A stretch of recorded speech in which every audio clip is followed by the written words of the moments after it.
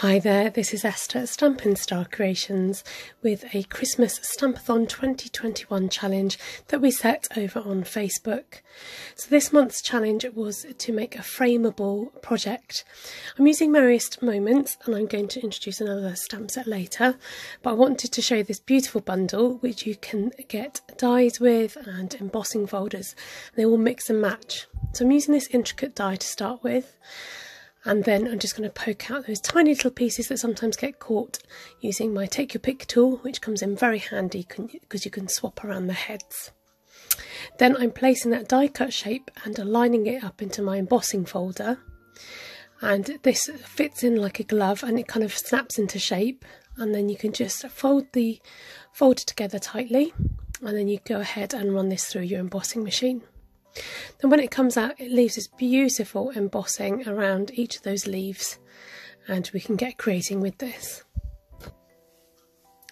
Using Mossy Meadow initially to blend on some colour using a blending brush and I'm concentrating on the ferny type leaves that are on my paper. So the colours do blend together and it doesn't actually really matter for the final project but just to lay down some different shades of colour. Coming in next with Pear Pizzazz, so a lighter green to fill in some of those other rounded shaped leaves.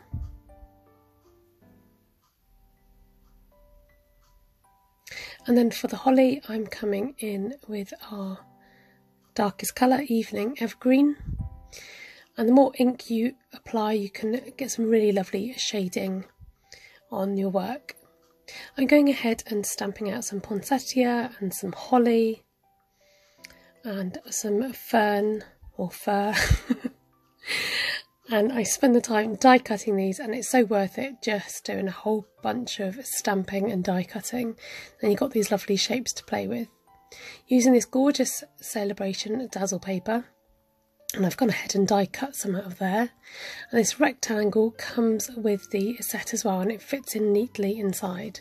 I'm stamping it twice and offsetting it so I've got a lovely shadow effect. Here comes my peaceful uh, deer and with the matching punch and I'm stamping this in crumb cake with the two rabbits that come in the set. I'm stamping double so that I've got an extra card to make which will be similar to my frameable piece and that will be given away as a random act of kindness as part of the challenge. This set even comes with little dots on the end of the deer so I'm just putting it on the hind leg. Using my crumb cake blends to colour these in and just kind of eyeballing where I should put the colour and trying to think from memory where the lightest and darkest bits would be on the deer.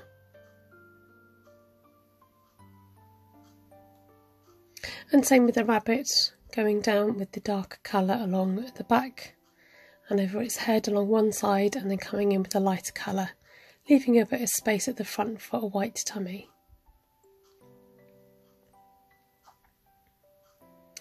And then fussy cutting this out. It's only a small piece so it's not too bad. I've got this frame which is it said 6 by 6 inside but um, I think the actual frame is more like 8 by 8 or a bit bigger. And I've cut down some of this birch paper which comes again from our um, celebration offer. If you spend £45 you can get the paper for free. And just blotching on some spots around the edge. This really helps to give some movement now with a lot of these layers I'm affording to put it on on layers with sticky foam back so that when I come to add my pieces I can just slot them in behind. Because it's a box frame it doesn't matter about the depth. So putting my sparkly papers behind that main frame and then adding in those die cut foliage and matching them roughly up where they are on the uh, framed piece. So matching my die cut pieces to where they are roughly on the bit that I've already cut out and just tucking them in behind that sentiment.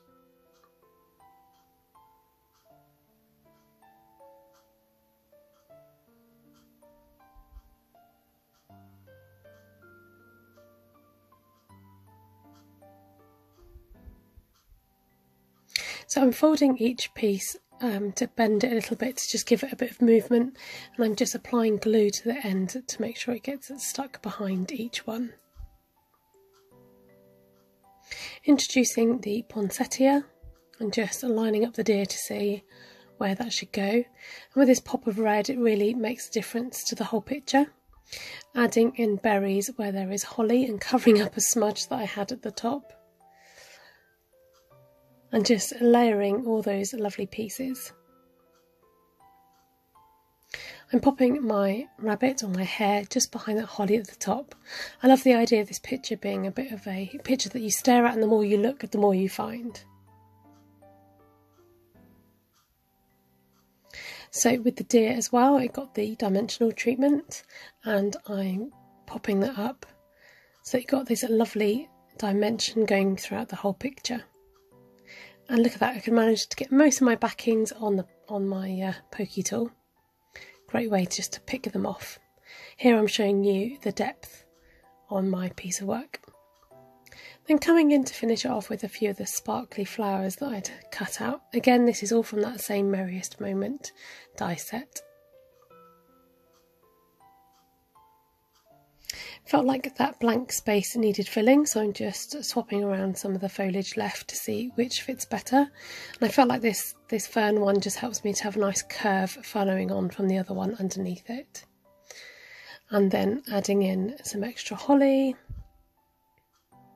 and at this stage, you're just filling any gaps that might look as if it needs something, like that gap on the side there.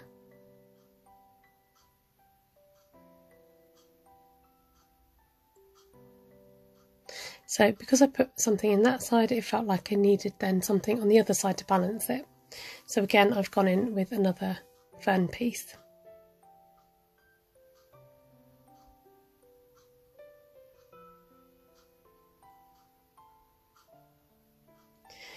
coming in with these holiday rhinestones and I'm choosing the green. Now again I just wanted the picture to be um, something you look at and I didn't want the gemstones necessarily to stand out by themselves.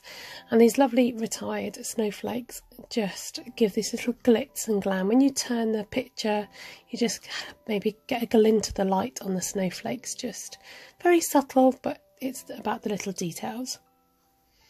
Just edging the edge with the crumb cake ink and a blending brush and then popping it in the frame for the first look. Here we go. Wow, when you frame a piece of your artwork, it just does something. It just makes it look really professional and finished. But because of the colour of the frame, I wasn't quite convinced, so I'm coming in with my white ink. Now, my white ink obviously needs re-inking. There's one patch of my ink which was particularly juicy, so I was able to use that to dab on my frame. And I'm just swiping this along my frame. It's a smooth surface, so it's not going to catch my ink, and it's just an easy way to apply that white ink. Then I'm using a blending brush just to fill in that gap in the inside where the wood was and where I couldn't reach with the ink. Because I didn't want to wait around for this to dry, it's particularly wet sticky ink, I've heat treated it with my tool, my heat tool to try and get it dry a bit quicker. Okay, round two, and fitting the frame together. And there you go. I just think it takes away that stark wooden edge. I hope you've enjoyed the project today. I thoroughly enjoyed making this. Please do check out the Christmas Stampathon 2021 over on Facebook. Do like my page by uh, subscribing, thumbs up, and comment below.